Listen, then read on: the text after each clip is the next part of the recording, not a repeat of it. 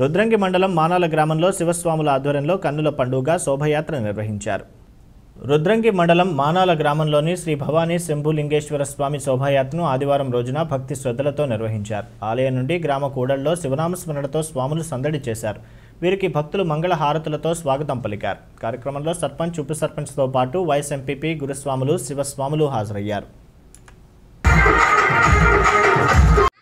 మానాల గ్రామంలో శ్రీ భవానీ శంభులింగేశ్వర స్వామి దేవాలయం నుండి సుమారుగా మూడు వందల మంది శివస్వాములు శివనామ స్మరణతో గ్రామంలో అందరూ నృత్యాలతో మనమైతిగా ఇట్టి ఇలాంటి కార్యక్రమాన్ని నిర్వహిస్తున్నాము.